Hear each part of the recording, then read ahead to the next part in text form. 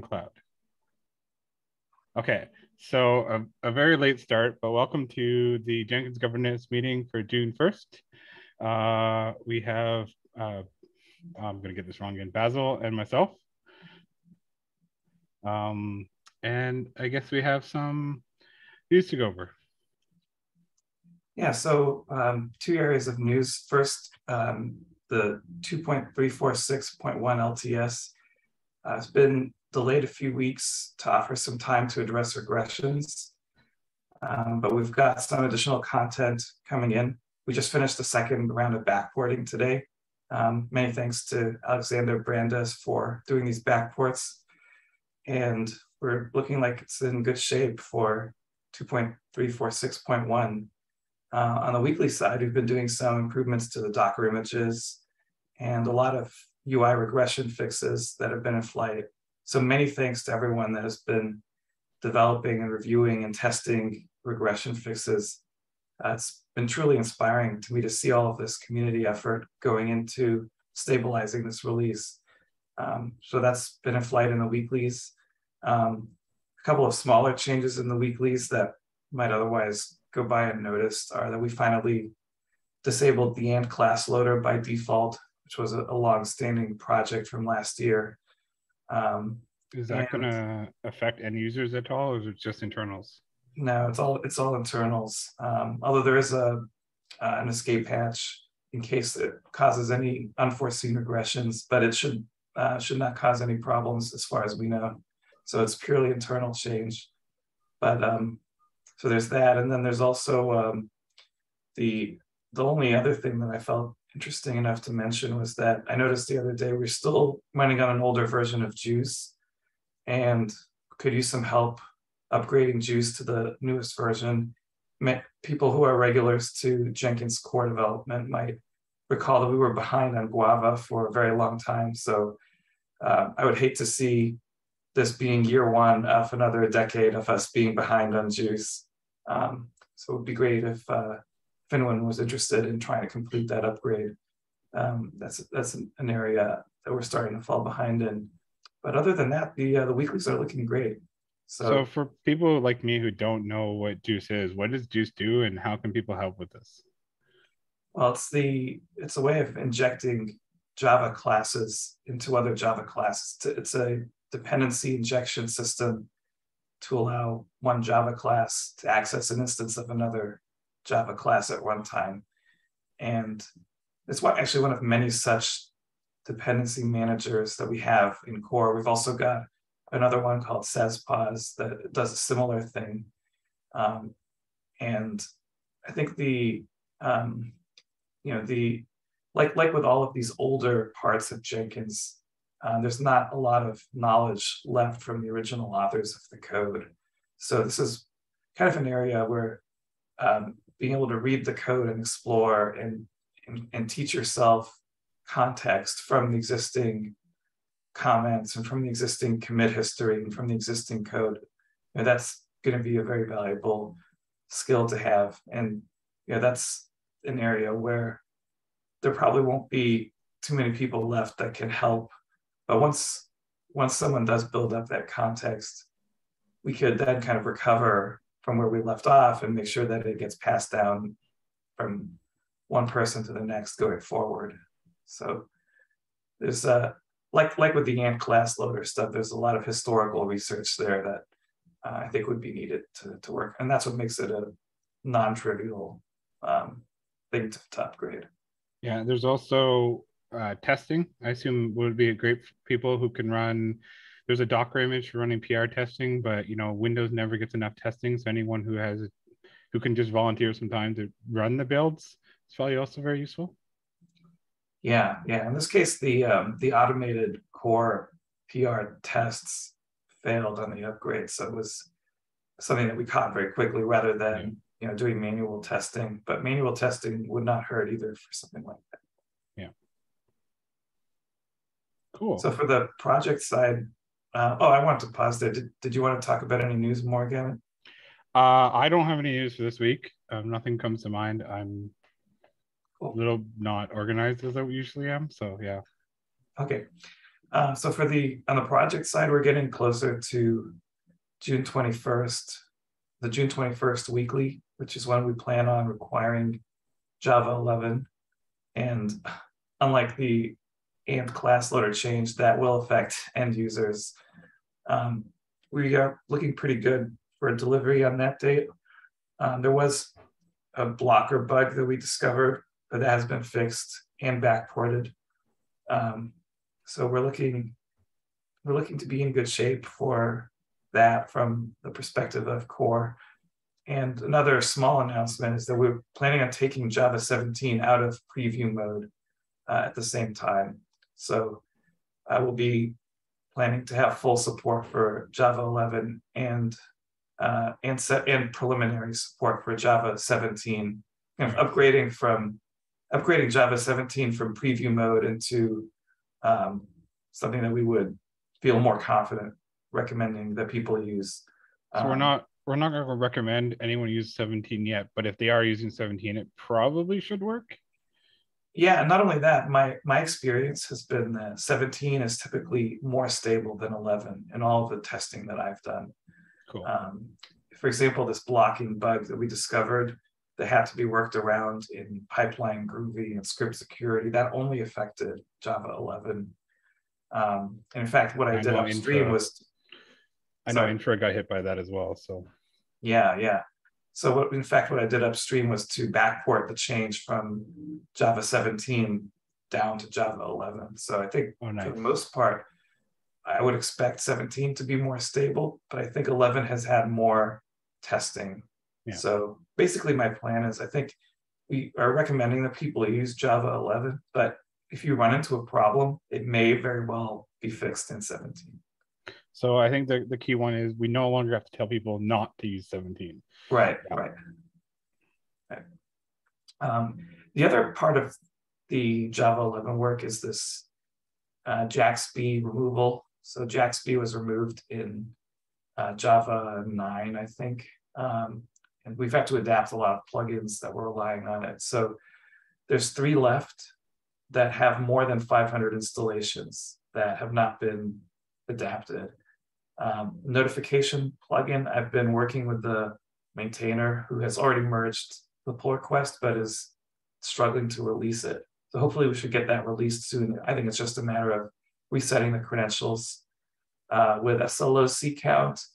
I'm going to adopt that plugin myself and then merge and release the fix. Uh, so that should be taken care of soon as well.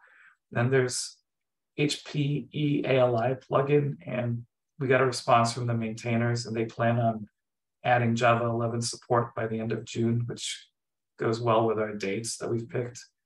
Um, so I think we're in good shape for JAXB compatibility uh, for any plugin with more than 500 installations. And for the, uh, the plugins with fewer than 500 installations, we have submitted pull requests in many cases, but sometimes these pull requests have been ignored. So if these pull requests don't get fixed by September, we're most likely just going to deprecate those plugins uh, formally, um, but still give people some, still give the maintainers a little bit more time to update them. So that's really all I have for I'm projects. Totally on board with killing old old plugins. I, they cause a lot of support both in the plugin site and the form stuff. So anything that's been long abandoned and not used, I think we should be more aggressively killing. Yeah, and there's a there was a great example of that recently with um, one of the front end changes to improve form validation. Um, we did a code search and discovered that it would break a very old plugin. And as part of, of improving that form validation, we're going ahead and deprecating that plugin. I don't remember the name offhand now, but there's a lot of examples of that. And I think it's a good um, pattern of development that we're starting to see um, where it's all right to evolve core and to leave certain plugins behind on a case by case basis. Yeah. Um, but but um, along with leaving them behind, communicating that through a formal deprecation is a good way to set users' expectations. Yeah. And I think we, I mean, as a group, we also need to push uh, pipelines more because I think a lot of those old plugins are designed because pipeline didn't exist. So Right. like there are integrations that are just freestyle in nature that don't make any sense in pipeline, and you can work more flexible in pipeline, but they still exist and people use them. So I think we could do a better job of being, hey, get Yeah, learn learn new things. Not you're wrong. I want to stress that freestyle is not wrong, but we could do a better job at being, hey, these things are going to be make your life easier. yeah. You know, I think um, uh, some of our some of our users have a lot of jobs running on older job types, and it can take a long time to rewrite these older jobs. But it's like you said, it's an exercise that's well worth doing from a supportability perspective. Cool. So that's all I have on my side. Yeah, so I can cover the other two topics here not as well as Mark could. It's kind of I'm kind of I miss Mark already, but he's just taking a week off to spend with family, so you can't really, you know, complain. Um, so she she code Africa, uh, the contributhon is now complete. Uh, there were a couple of posts on the like retro type posts on the forum, so people posted, you know, what they learned, you know, what they get, what skills they gained, who they are, that kind of thing. They're very nice to see. Um, and I guess as Mark wrote a, a comment here, he's going to write up a, a, complete blog post for the end or for the like a wrap up. Uh, we also summer Google summer code. We had uh, the four projects um, selected. They've started to kick off. Um, there's they're currently in discussions of essentially where they're going to be doing most of the communication. It sounds like there's a split between um, Gitter, more Gitter, Gitter channels and a couple Slack, so in the CDF Slack. Um, but you know they are moving forward, and you know all the mentors are very excited. And then for uh, for um, forums and community topics, I don't really have anything this week. Uh, there was a call out on the forums for uh, any help topics people had. So I'm going to just skim this really quickly while we're waiting. Uh, shoot, I lost it. We'll, we'll, I'll add the, I'll add the, uh, I'm going to add links for she codes answer for these posts. And then there's one I saw that people are just looking for help. Yeah. So if anyone has blog posts, uh, oops, call out for YouTube videos, blog posts, uh, learnings. But otherwise, it's been fairly quiet on new content, a lot of questions. Um, I'm expecting our June 21st one will be MSC forum stuff, but mostly we just tell people to upgrade and we should be good. Yeah, Yeah. upgrade- as usual, we'll upgrade the plugins both before and after upgrading core. Yeah. I think that's really the big message. But Yeah. And yeah, so I don't have anything else this week. It's been a pretty quiet week. great. Oh, there was, oh, the other thing is infra news. Uh, where do we, we're gonna put it at the top. I don't, uh, infra had a couple outages last week. Infra had a couple of outages. Uh, make sure, so we gotta make sure that we, uh, status.jenkins.io needs more visibility. Um, don't know how. Yeah, and many thanks to Tim and Damien Yeah. for quickly working through, uh, and all of the infrastructure team for quickly working through the release problem that we had uh, this morning. Um, so we've, we've released the weekly successfully. Oh, nice. I didn't even know about that one.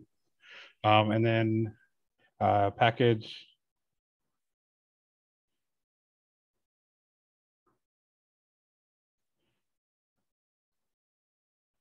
Uh, yeah, so I gotta I gotta actually re- say this out loud, not just write it down.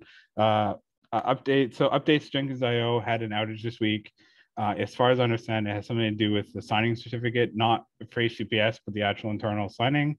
Um, that got tracked down and uh, fixed up, but there, you know, it did happen. And then packages of Jenkins.io and mirrors of Jenkins.io, they got moved into our normal infrastructure um, with the actual the mirroring software that actually does mirror properly. Um, there's a few issues to do with HTTPS there. They got fixed relatively quickly, but you know there was an outage and it did get documented. So yeah, it was a good good week for everyone. But we do uh, we did find that a lot of people just didn't know to look at status. It's not something that breaks very often, so we got to figure out a way to make that more clear. Yeah, I see. So, so the so the status page was up to date, but people weren't able to find it or didn't know that it existed. Is that yeah, pretty much.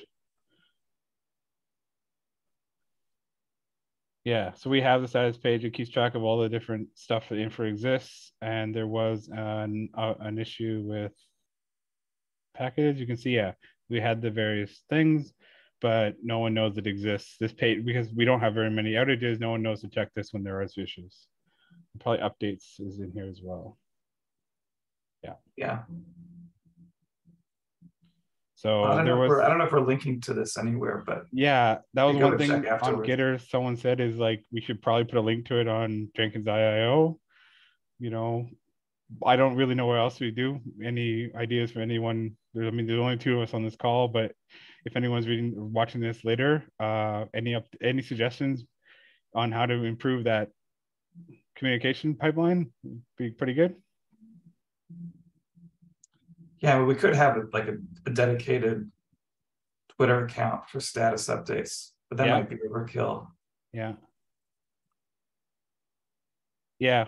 I mean, I hopefully also we don't need it too often. Yeah, I mean, the number of actual issues is they're usually generally pretty low, just needs a restart once in a while. This last week has been a little bit rough, but then it goes past there. It's like 225 days ago, you know, 30 days ago, and most of them are just issues with the the, the main CI service, which is just gets so much traffic, Right, oh, or an artifactory that we don't we don't maintain.